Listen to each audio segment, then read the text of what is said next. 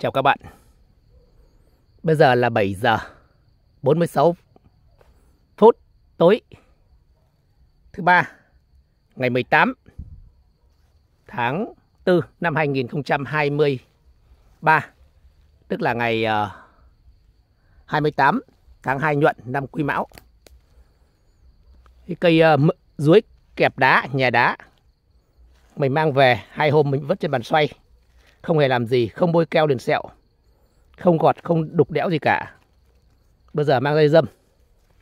Năm nay mình sẽ dâm toàn bằng rác và đất mùn. Nếu như chúng ta dâm cây thì anh em hay dùng những cái tôn, cót ép, những tấm nhựa, đó lại bất cứ một cái trang thiết bị phương tiện gì đó để chúng ta quay lại, chúng ta đổ đất lên. Thì bây giờ mình lại lấy rác mình quay và mình đổ đất, mình cứ quay một lượt rác lại đổ một lượt đất. Bây giờ mình đổ kín mít. Để hở một cái ngọn con con thôi, để mình được kiểm tra cái răm này. Nhược điểm của đất hôm nay là đất này là đất ở ngoài vườn. Mình cào đất trên mặt, đất này mình vừa bón vải. Tức là bón cây ăn quả ở lục ngạn đấy cây ăn quả vải mình đã đậu xong. Mình bón cây vải. Cho nên bây giờ, cái nhược điểm của nó là có phân. Dù rằng có tưới thật nhưng mà nó tan chưa nhiều cho nên à, không may là cái phân này nồng độ hơi cao sẽ ngộ độc. Tuy nhiên cây này là cây duy nhất năm nay mình đào bầu mà bầu rất to, to khủng luôn. Cho nên thực ra là cây mình đã cắt đi. Riêng cái bầu đó không cần tưới, cây đã sống rồi. Cho nên mình không tưới nữa.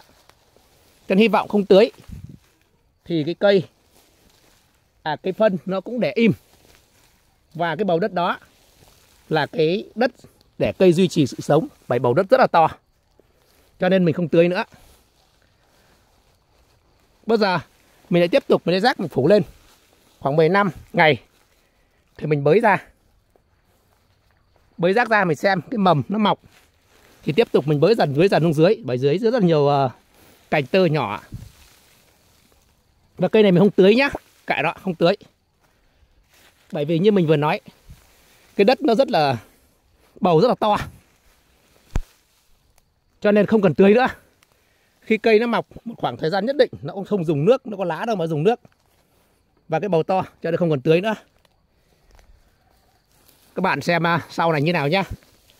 Cây này là cây kẹp nhà đá đầu tiên từ cây ruối đặc biệt là cây nhà mình rất trân trọng. Tuy nhiên mình trồng như này. Các bạn quan sát sau nào. Còn cây mà trồng theo kiểu kỹ thuật vừa rồi mình nói đó là lấy rác phủ bốn xung quanh, rồi cho đất dần là cây đầu tiên. Đó là cây nguyệt quế. Đây. Rác đây. Đất trong này đây. Và cây nguyệt quế này là cây đầu tiên và phát triển rất là ok. Lộc dài 40 phân rồi. Còn cả cây dưới to. Mình vứt tiền, cẩu, lấy cũng khá công phu. Bây giờ cũng dâm hoàn toàn bằng đất và rác. Nếu như dâm bằng cát, chúng ta tuy đẫm nhưng dâm bằng đất này chúng ta không tươi đẫm được bởi đất này nó rất là ẩm ướt. Đấy, rất là ẩm ướt. Tuy nhiên tới giờ mình thấy khả quan đặc biệt là cây mực. Cây mực nào mình trồng cũng rất là ok. Đấy. Đấy những cây này cũng thế. Mình trồng đều ok hết các bạn ạ. Lá rất xanh rất đẹp.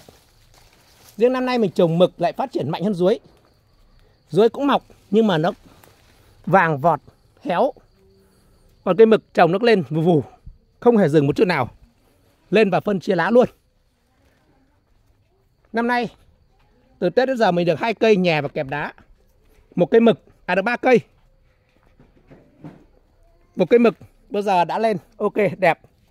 Một cây hôm nọ vừa dâm. Hai cây mực và một cây chuối và từ giờ chi mình tiếp tục đi lấy.